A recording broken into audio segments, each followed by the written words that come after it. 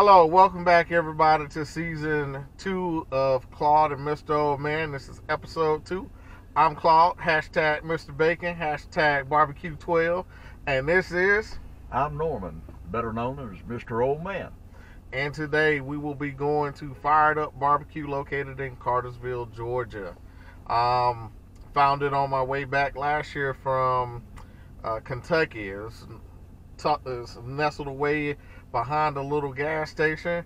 And I was riding through Wendy's and I saw the sign. I was like, man, let me go check that out. So uh, went around, kind of looked at it. It was the middle of the night. Looked like a good spot. So uh, said we'll go up there this year. So Mr. O'Man did any research on it?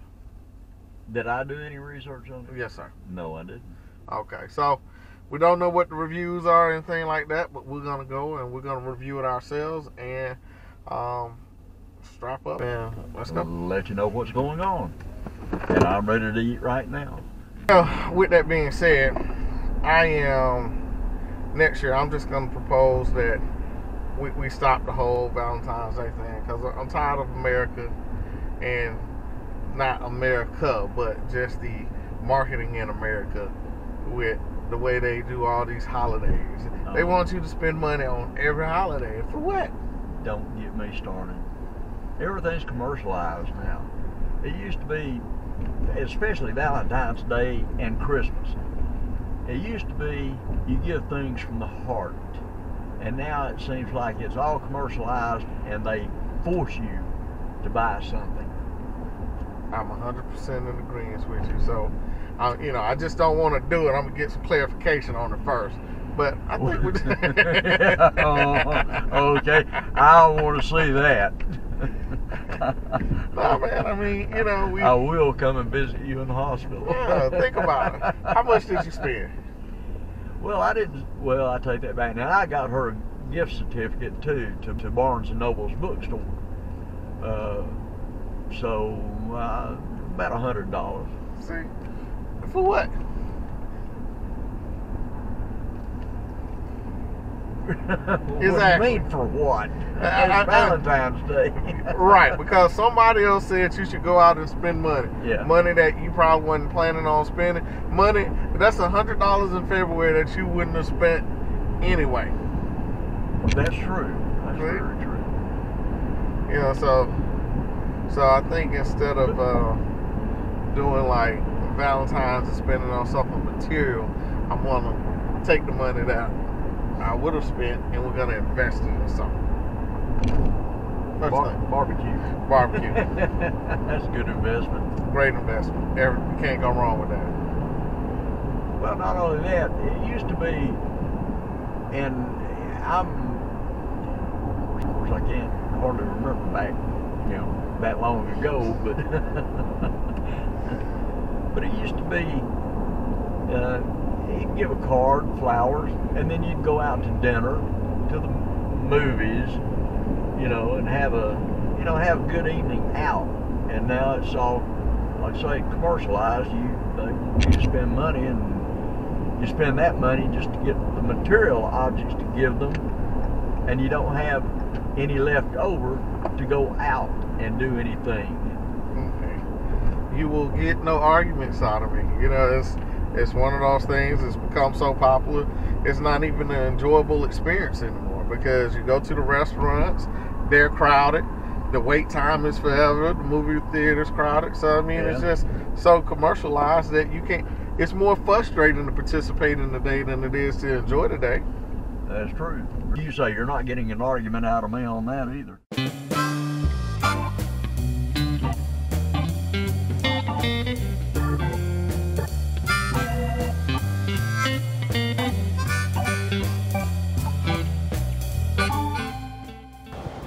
All right, so we're at Fired Up Barbecue with the owner Bill. How you doing this morning, Bill? I'm good, good. How you guys today? We're doing good. Thank you for having the time, taking the time out of your day and meeting with us. I know we're probably at a little inconvenient time, but it really means a lot to us. Thank you, sir. Sure, glad to do it. So tell us about your restaurant.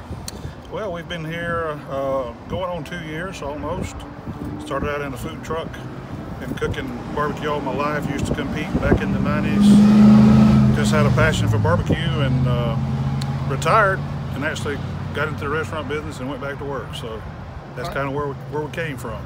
Did you compete KCBS or GBA or We was actually Memphis in May, Memphis in May? down in uh, South Georgia. Okay. Okay. Got to go to Memphis three years. Got invited to go there, so we were happy about that. Placed well, had a good time. What smoker do y'all use here? We use commercially. We use the Old Hickory E ELEDXs for consistency and quantity. We feel like it's, it's the best product that we can turn out on a, on a large scale. Okay. In competition, we do a little bit different things, but on the commercial side, that's that's what we use. Okay. And that's your smoker right there? That's one of them. Yep, that's our pit master, Bobby. Hey Bobby, how you doing? I'm doing fine. How are you? Good, thank you, sir. Well, we're looking forward to getting in here. Uh, you know, one of the things that we always do, you're the first place that we've actually pulled up to and was able to see the smoker. Time we pulled in, y'all are doing your thing, man. Bill, thank you again for taking the time out for us. Appreciate y'all coming in. For you, Hey. sir? Hey. How you doing today? Good, how are you? Good. I will do the three meat plate. The two meats? Uh, three meat. Three meat? Uh, ribs, brisket, and pork. Yes,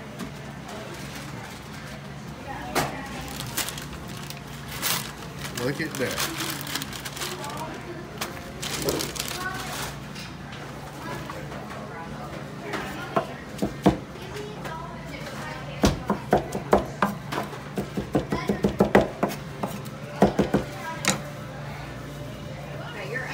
Onion ring's gonna be a pimento. Okay.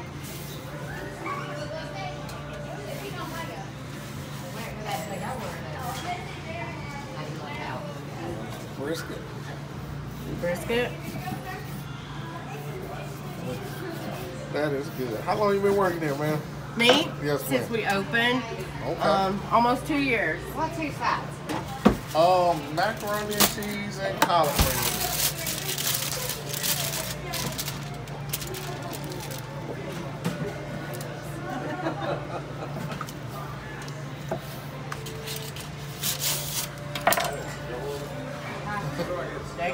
There you go. Thank you, You're very welcome. Enjoy that, sir. Yeah, all the three meat plate, Okay? pork, turkey, and sausage. All right, so we have our plates. As always, you know I'm gonna get the macaroni and cheese, collard greens, but they had a cream of corn that I wanted to try. Um, they have ribs, brisket, and the pulled pork. Mr. Old Man couldn't wait to get started, so he has That's the, right. the turkey, the The sausage, sausage pulled and pork, pork, and you know he's gonna get his baked beans and okra. fried okra. So, what have you tasted already, Mr. Old Man? Well, I tried the uh, uh, pulled pork, and it is delicious. This fried okra had to have been fresh pulled, cut, and fried not more than an hour ago. That's how good it is. Now, I haven't tried the baked beans yet, and I haven't uh, tasted the turkey. It is delicious, soft, tender, great flavor. And the sausage, I haven't tried it yet. Okay. All right. So So, like, like with you and your uh, collard greens, I am with the fried okra. So I stole his sausage and we're gonna have to try it out. well, here's Bill checking up on us. He bought us some good banana pudding. Yes, sir. So far, Bill, experience has been great, man. So go ahead and try to pull pork and see. Um, you know, they chopped it up. That's one of the first time for that experience. Um, chopped it and pulled it right in front of us. So I'm very excited about it.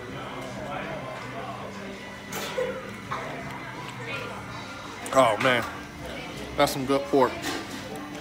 Good pork. Nice smoky flavor to it. Tender. Very good pork. So what do you think about the sauce?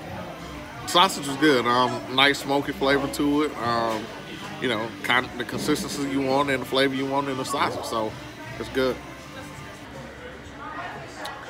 So Bill came out and warned me against the the very hot, um, the very hot barbecue sauce. But Bill, we're daredevils, so we're gonna try very hot and see how hot it really is.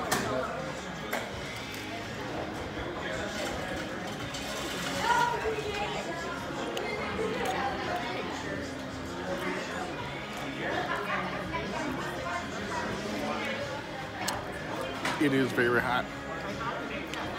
Thank you for warning me, Bill, but it's very hot. All right, Mr. Man, what's the review on the beans? Talking with my mouth full. I know. beans are out of sight. There's different kind of beans mixed with some light pepper, and the taste is unbelievably barbecue. Nothing like it. All right, as y'all know, I always have to have my greens. Um, so we will taste those and see how they are.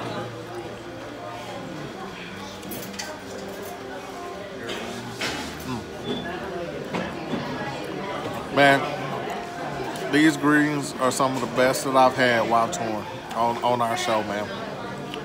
They have, they're very flavorful, um, not bland at all, seasoned right. These are some good greens. All right, so let's try out the ribs now. Um, looks good, so let's see how it is.